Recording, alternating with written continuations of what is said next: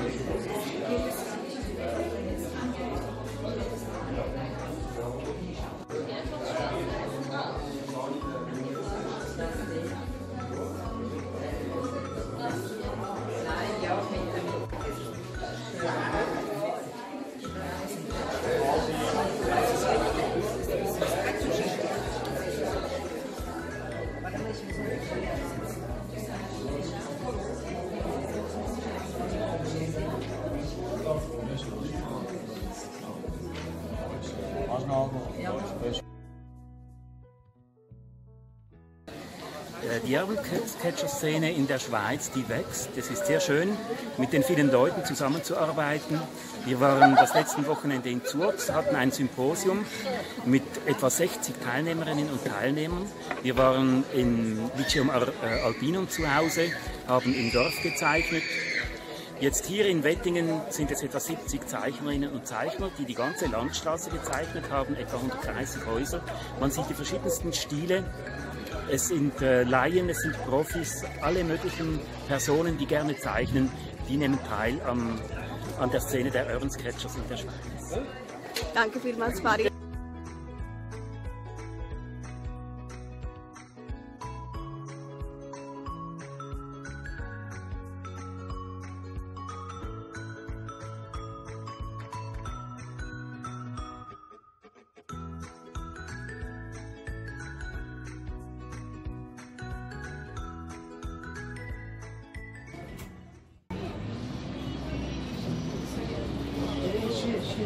よし。